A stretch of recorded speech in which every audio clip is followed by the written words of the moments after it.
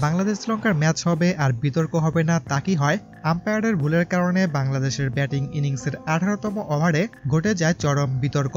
শুধু ক্রিকেটাররাই নয়, মাঠের বাইরে থেকে কোচরাও যার প্রতিবাদ করছিলেন। আঠারোতম ওভারের প্রথম বলটি শ্রীলঙ্কান এই বলার করতে যাবেন, আর তখনই আম্পায়ার এটিকে ডেড বল ঘোষণা করেন। অপরদিকে বলার বলটি ডেলিভারি করে দিলে সেই বলে আবার ছক্কা হাঁকান আবু হায়দার রনি। আর যেখানেই বাঁধে বিপত্তি।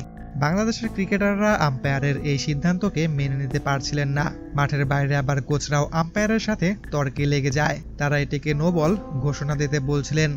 অতপর বেশ কিছুক্ষণ নাটক শেষে আম্পায়ার এটিকে নো ঘোষণা করেন। তবে তাতে বাংলাদেশের লাভ হয়নি। শেষ পর্যন্ত উনিশ রানের ব্যবধানে ম্যাচটি জিতে যায় শ্রীলঙ্কা। এবারের ইমাজিং এশিয়া কাপ থেকে বিদায় নিতে হয় বাংলাদেশকে।